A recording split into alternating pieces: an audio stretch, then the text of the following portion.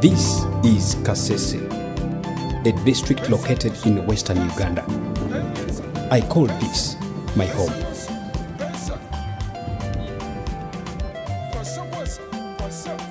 I was born here. I have also grown up here and I stay here with my family. River Nyamwamba is our lifeline. Collect water for domestic use here.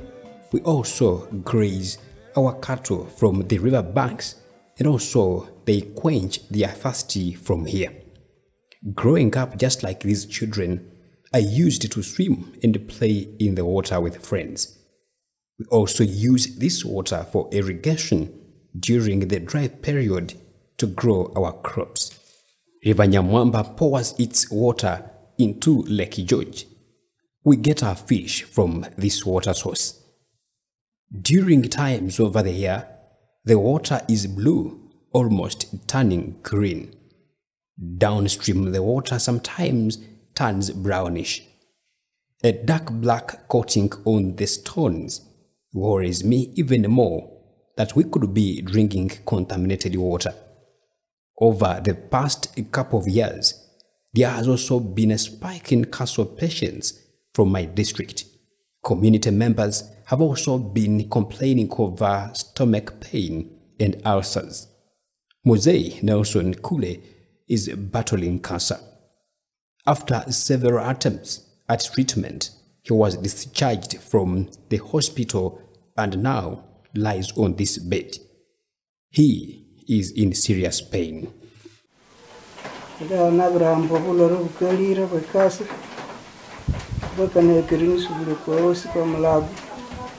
nivotsi maviriri yaminene yaviriri yaviriri sichinyitvako inganomohlava gavumanze ndi ingananyiwe ticha singachiwitira mani singachiwitira senzi singenyisuke mulavo kaisingachutira ndiro muvatsa kana musave gavumente munyiyambe kuva kokuwo kumavika ribola tangala kuvulecherikako regavumente munyiwotikeye munyiwo kuyambe His hope is to make it through the night to live another day. iseno ngasiva mwanjengu sinjangana kuva kunge kuimati mori vamaetse kusumba kweviri twangeriwe sinjiwite vuyembi vosi vosi These increasing cancer incidents are also worrying the communities. Dr. Yusuf Baseke is the Kasese District Health Officer who speaks about the incidents. We need to have an operation research as a district and know which type of malignancy is affecting our people, from where, what are the predisposing factor in that area. We can be able to come to a conclusion.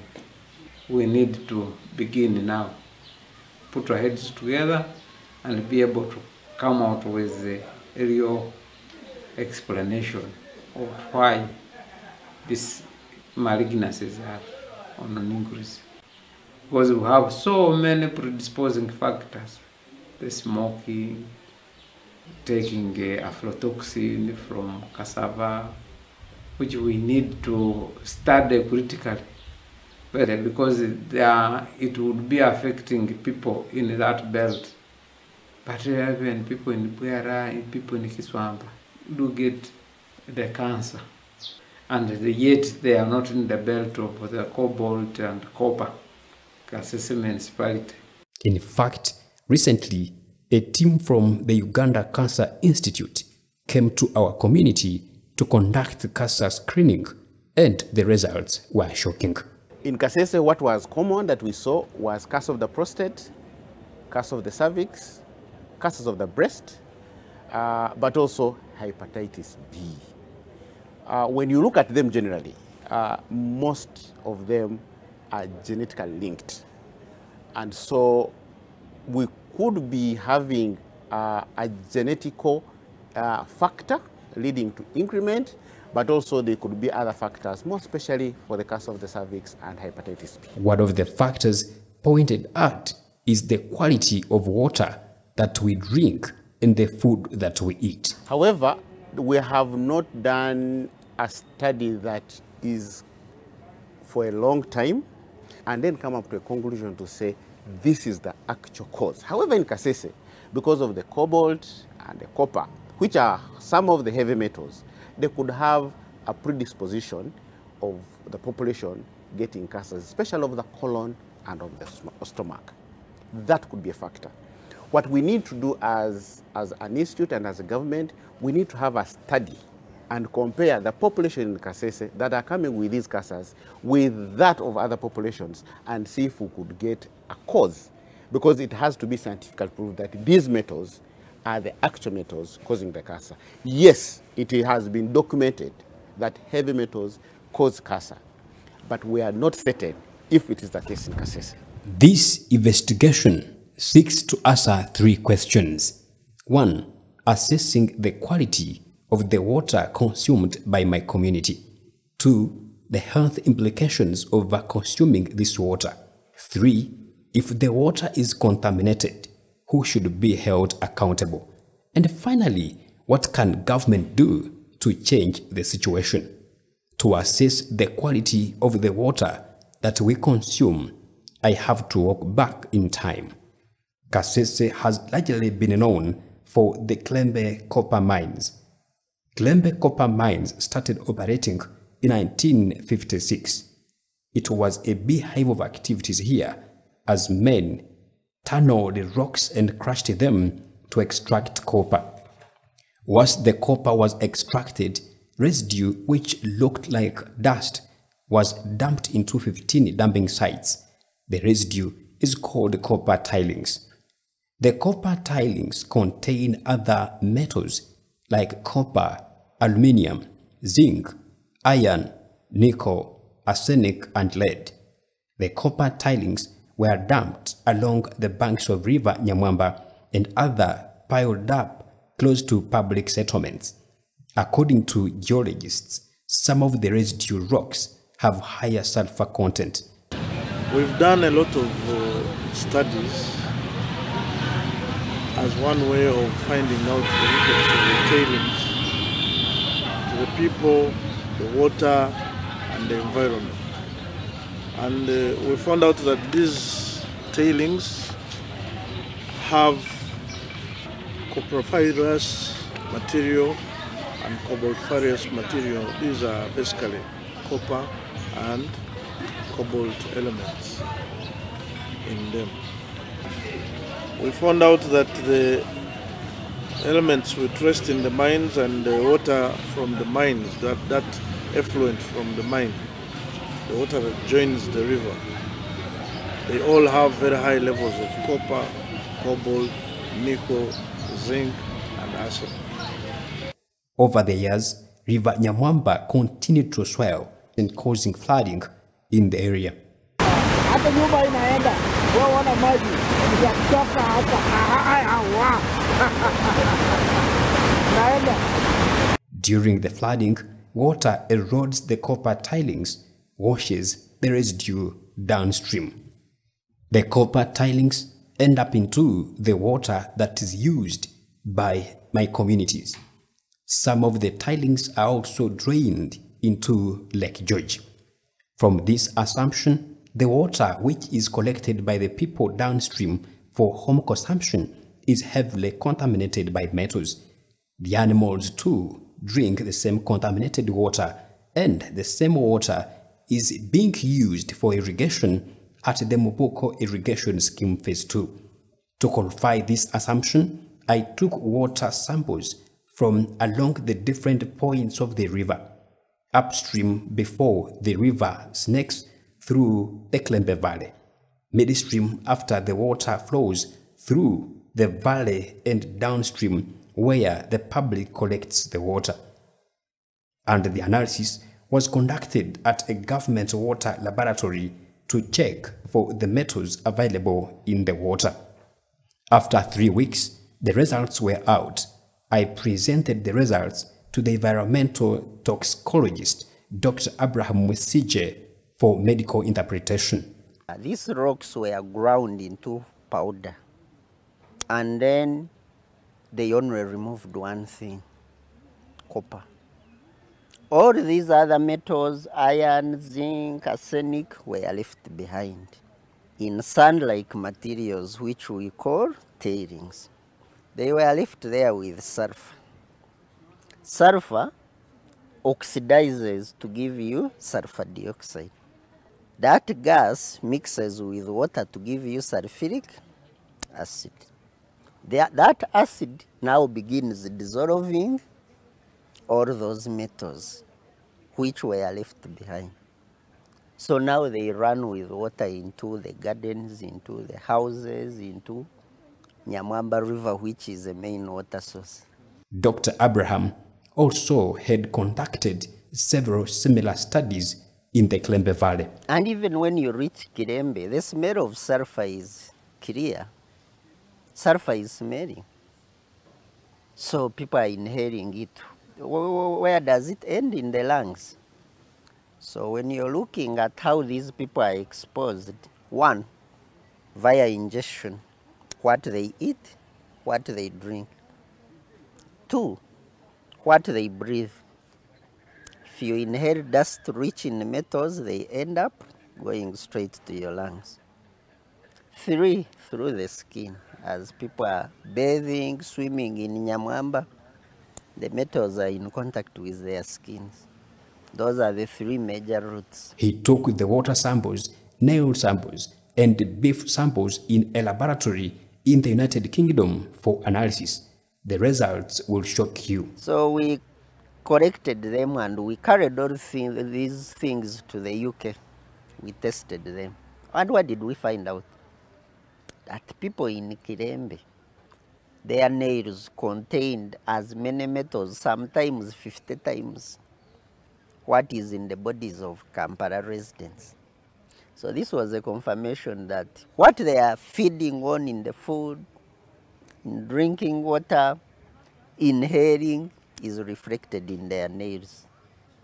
So it was clear that they are, the load of metals in their bodies was quite high. That was the first research. The results from the water samples showed that water contained heavy metals. We found the water, all waters in Kirembe had levels of metals which are not acceptable,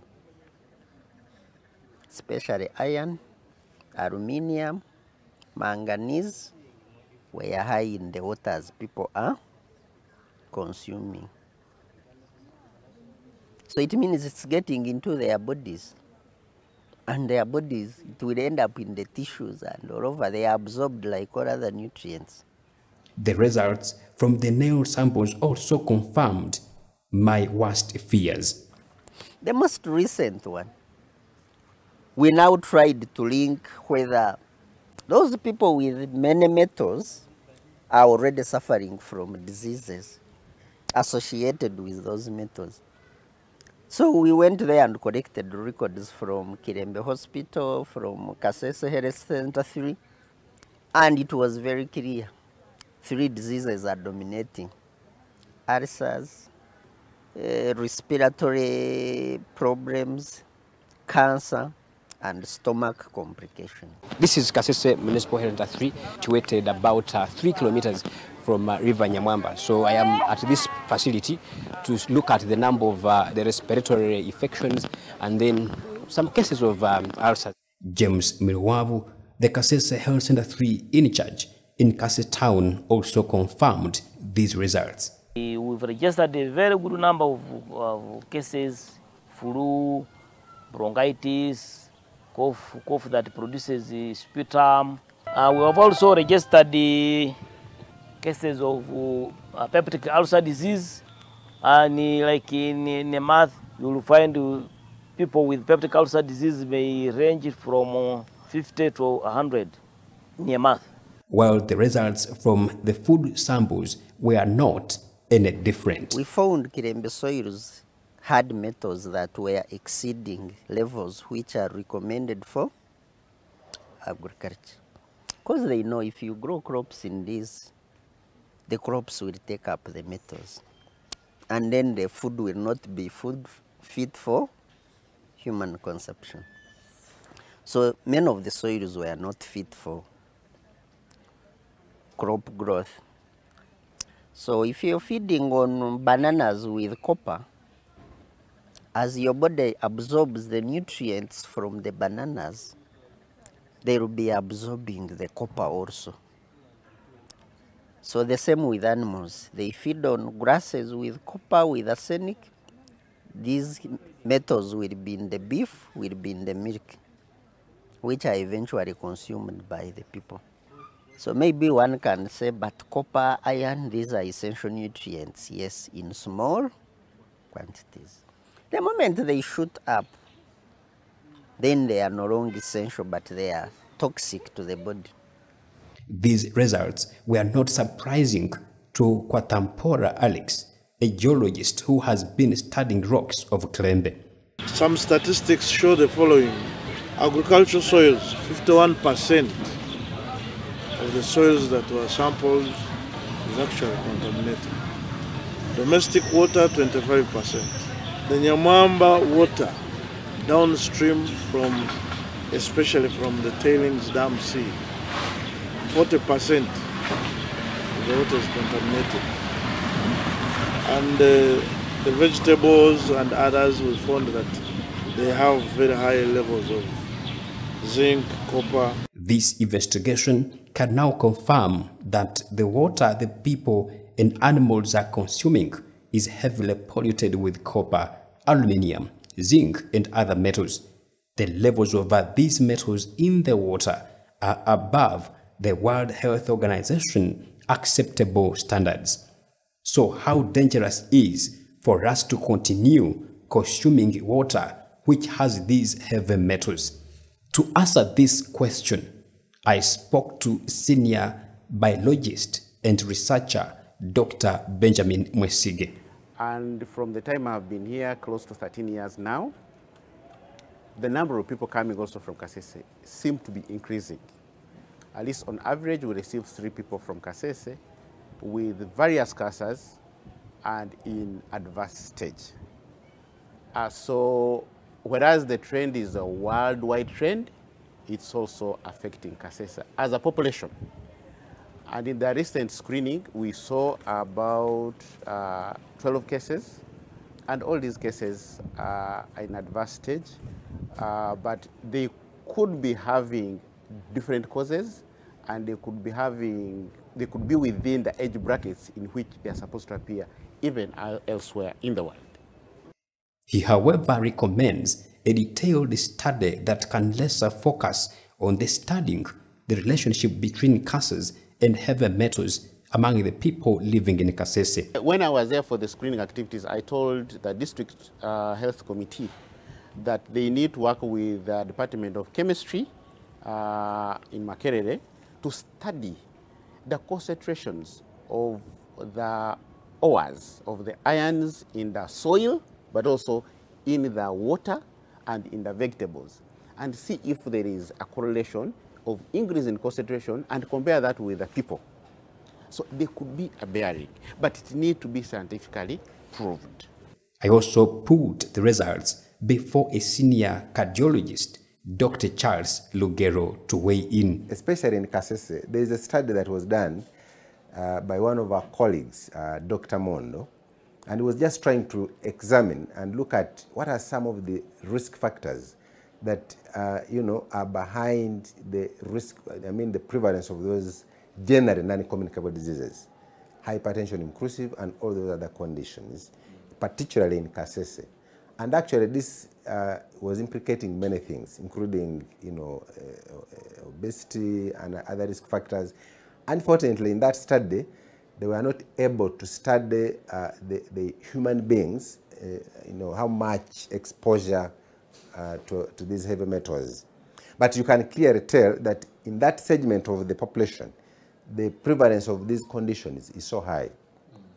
And sometimes we're actually wondering, can this entirely be explained by the traditional risk factors? So I agree, uh, probably heavy metal is an issue.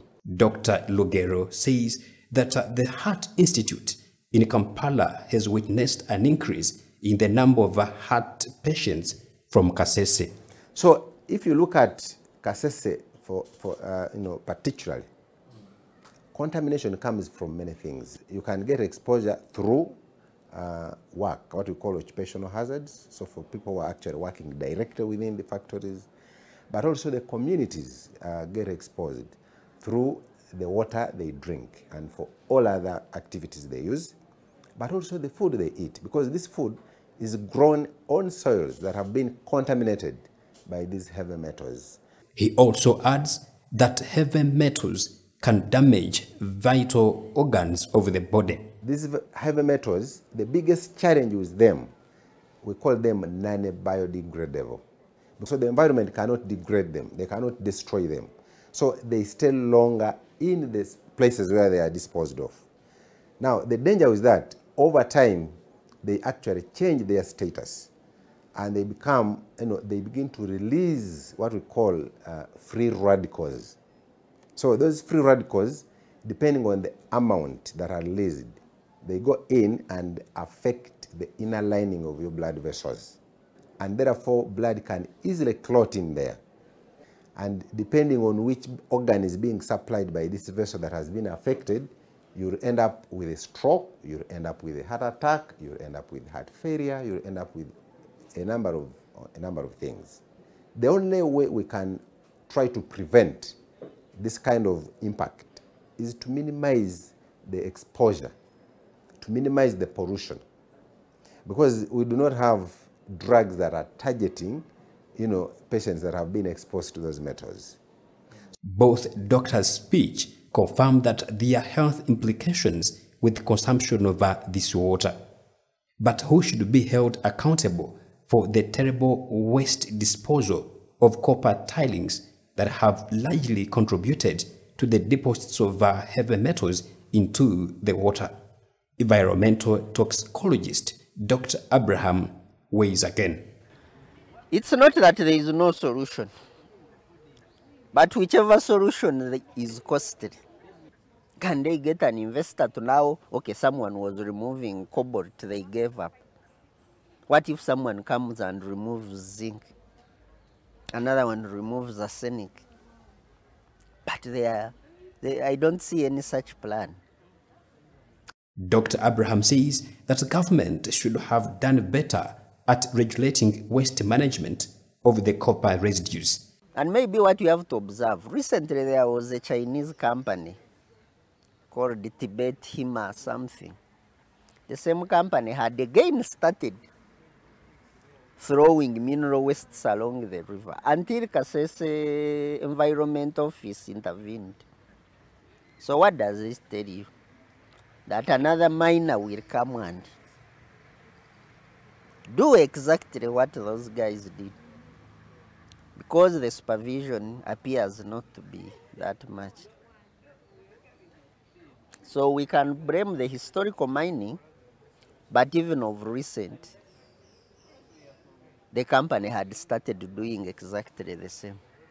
The Bulembia Local 3 chairperson, Mr. Richard Bomera, says government too has not been of any help. It is very dangerous. Those tailings are very dangerous because, first of all, they destroy even the vegetation. Near KCCL in Kasese town, in the national park, you no longer see any grass. I remember recently when we were befallen by disaster, a number of cattle died after drinking the water that was having that direct tailings. So indicating that the, the, the fish, this fish we get it from Lake George, which Lake George depends on river on River Nyamwamba to get the water. He faults government for failing to provide a basic need of clean water to the people of Kasese. Government they did that one 1963 to carry out research because of the copper toxic substances. It is decided to get the water from River Sebe, which is far from the copper mining area. But in 2016, the same government decided to tap water from directly River Nyamwamba. We don't know why. In order to manage this situation, government invested over 10 billion in constructing river banks to avoid future flooding. But this too has not been very fruitful. And by the way, the bigger danger is broader. Nyamwamba flows into Lake George. So all those wastes which are washed away end up in the lake where people are collecting fish. So disaster is not only limited to Kirembe. It's a broad landscape through the national park into Lake George. So the fish in there is already rich of metals. So the scale is much bigger than what you think. Government has been looking for potential investors to revive the copper mines, but many of them have since abandoned the projects. A Chinese firm, Tibet Hima, was the latest on the list of investors who have since pulled out of the investment project. But experts say the first attention should be given on managing the copper tailings before any further exploration can happen. The developer that the government will identify and evaluate has to first to do an environmental audit of the mine and the surroundings. And that would include the water, the, and thereafter they should immediately embark on remedies depending on the environmental audit of how to control persistent erosion of the tailings by River Nyamwamba. Channel the river to its original course. They have to put protective dams. They have to rebuild the dam of the tailings. The effluent from the mine has to be treated before it actually enters the river so that you remove all those ions and the copper sulfate it is that would be in there so that when the water is getting to the river it's very clean. The environment in Kilembe Valley is so alarming given that we've had uh, there's so many frequent episodes of uh, floods. But while the wait is still on, the people of Kasese continue to take in contaminated water which could potentially be harmful to their health. Akasumbe ya byam nale kirai kunzo mwakinga nale kirai ka abo abunga dasi ngine ya wala kundu tukonyo wala bula maezi ake ndiye ko patuka munyako yemeni mboga ndi fiti wote maezi tunako We local people fetch water from Nyamwamba River because the tap water is quite expensive. So the only water source we have is this Nyamwamba River. Though it may not be safe, but that's the only choice we have. As a resident of Kasese, I am worried that we could be exposed to more health complications as a result of uh, taking in this water. So when you talk of uh, uh, the cancer victims coming a little bit late for, for health care, it could also be meaning much more uh, to the government to provide a good and a better health service to lower health centers.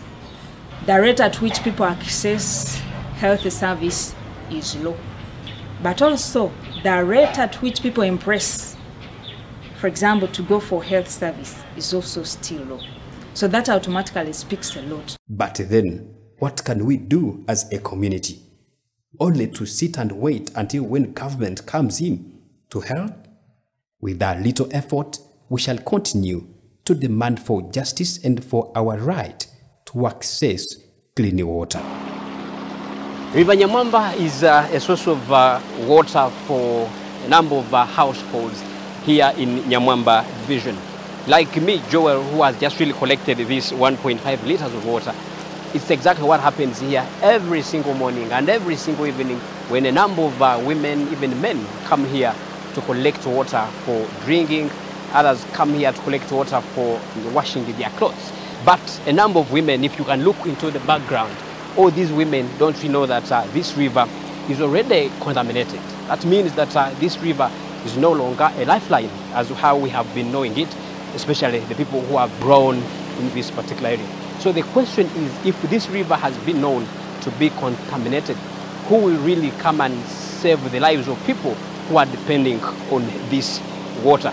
It's the reason I, Joel Kaguta, I decided to really do this story to show the whole world that river Nyamwamba and even the water is almost really a trap for death.